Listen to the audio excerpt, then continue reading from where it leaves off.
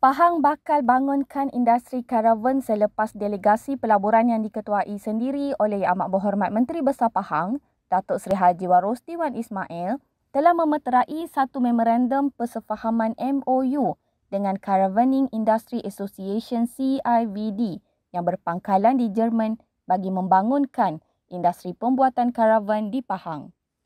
CIVD adalah organisasi yang terkemuka yang mengumpulkan semua pengusaha pembuat karavan di Jerman.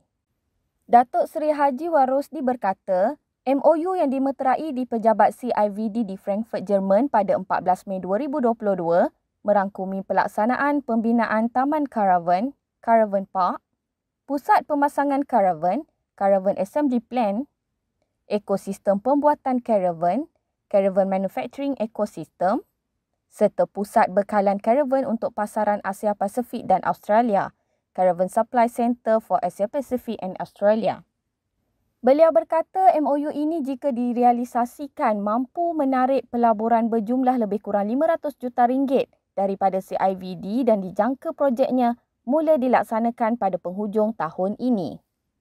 Menurutnya, kerajaan Pahang akan memberikan komitmen sepenuhnya bagi membangunkan industri karavan di negeri ini dan taman karavan ini akan beroperasi di lokasi strategik yang akan dikenal pasti kemudian.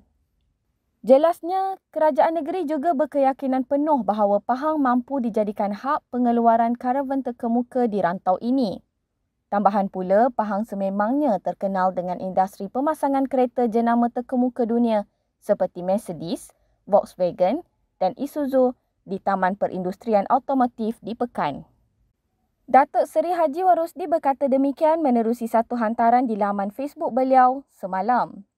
Jelasnya, kerjasama strategi ini turut mendapat sokongan dan penglibatan daripada pihak East Coast Economic Region ECER.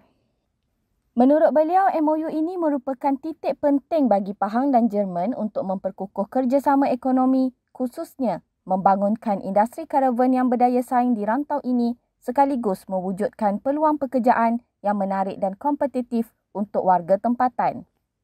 Beliau berharap agar MOU ini dapat direalisasikan bukan sahaja mampu membangunkan industri baru di Pahang tetapi juga menyumbang kepada hasrat kerajaan untuk meningkatkan pelaburan asing ke negeri ini sekaligus memastikan sasaran pelaburan berjumlah 18 bilion ringgit di Pahang pada tahun ini mampu dicapai.